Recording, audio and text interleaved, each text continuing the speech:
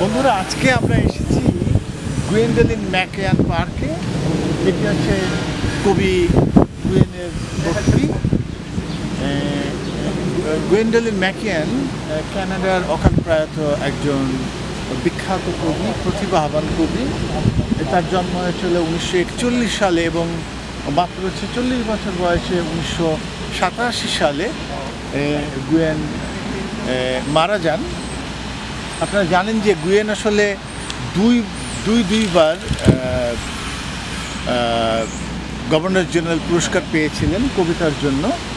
উনিশশো উনসত্তর সালে তিনি প্রথমবার গভর্নর জেনারেল পুরস্কার পান এবং সেই বইটির নাম ছিল দ্য শ্যাডো মেকার গুয়েন কিন্তু মোট চোদ্দোটি কাব্যগ্রন্থের রচয়িতা। তার রয়েছে চারটি কথা সাহিত্য গ্রন্থ একটি প্রবন্ধ গ্রন্থ এবং তিনি শিশুতোষ গ্রন্থ করেছেন তিনটি। গোয়েন্ডলেন ম্যাকিয়ান কিন্তু অনুবাদের কাজও করেছিলেন। এই উনিশশো সাতাশি সালে তার মৃত্যুর ঠিক আগে আগে ঘোষণা হয় যে তিনি তার গ্রন্থ আফটার ওয়ার্ল্ডসের জন্য, দ্বিতীয়বারের জন্য, দ্বিতীয়বারের মতো গভর্নর জেনারেল পুরস্কার পেতে যাচ্ছেন। কিন্তু গুয়েনের দুর্ভাগ্য এই যে পুরস্কার গ্রহণের আগেই তিনি মারা যান এবং গুয়েন আসলে অনেক অনেক দুঃখী একটি চরিত্র আমি সবসময় মনে করি।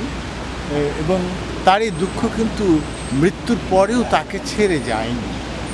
উনিশশো চুরানব্বই সালে এই যে যে জায়গাটায় আমরা দাঁড়িয়ে আছি, এই এই ব্লু রোডের উত্তরে এবং ঠিক এ, স্প্যাডাইনা এবং বাথাস্টের মাঝামাঝি জায়গায় এই ছোট্ট পার্ক এটা উনিশশো চুরানব্বই সালে এই ছোট্ট পার্কটিকে নামকরণ করা হয় গোয়েন্ডেলিনের নামে। এবং তারপরে সিদ্ধান্ত ছিল যে উনিশশো নিরানব্বই সালে এই গুয়েনের এই মূর্তি এখানে স্থাপন করা হবে। কিন্তু তার এমনই দুর্ভাগ্য যে দুর্ভাগ্য ও তাকে মৃত্যুর পরেও তাকে ছেড়ে যায়নি। সেটা হচ্ছে যে এই মূর্তির শিল্পী তিনি মূর্তিটি তৈরি করার আগেই শিল্পী মারা যান। পরে নতুন শিল্পীর সাথে যোগাযোগ হয় এবং পরে দু হাজার ছয় সালে এই মূর্তি এখানে স্থাপন করা হয়। এই ফাঁকে আরেকটু বলে রাখি যে গোয়েনের মৃত্যুর পরে ক্যানাডার বিখ্যাত জীবনীকার, অধ্যাপক, গবেষক রোজমেরি সালিভান। সালিভান কিন্তু গুয়েনকে নিয়ে একটি খুব গবেষণামূলক প্রামাণ্য জীবনী গ্রন্থ লিখেছেন এবং গুয়েনের মৃত্যুর পরে তার বন্ধু, সমসাময়িক কবি ক্যানাডার বর্তমানের অগ্রগণ্য কবি, সাহিত্যিক মার্গারেট অ্যাডুড এবং ব্যারি কালাহান তাদের যৌথ সম্পাদনায় গুয়েনের নির্বাচিত কবিতা সংগ্রহ দুই খণ্ডে প্রকাশিত হয়েছে।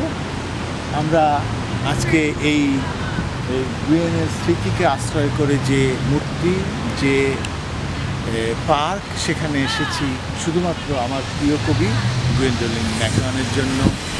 জানাতে ভালো থাকুন গুয়েন যেখানে